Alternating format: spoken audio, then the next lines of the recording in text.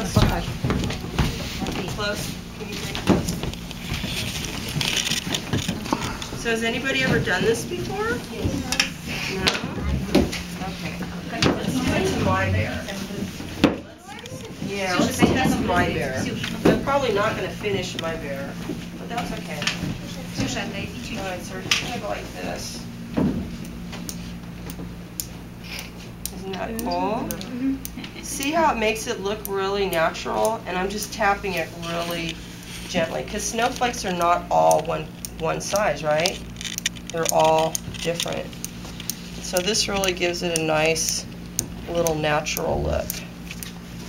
And it's not too messy, but you don't want to do too much. Like, I would probably stop right around there. So who wants to How try it first? here? Me. Can you? On mine. Is it okay? You got to ask your mom. Okay. Mama, could I? Dilly. All right, so we're going to do this uh, one by one. and. I'll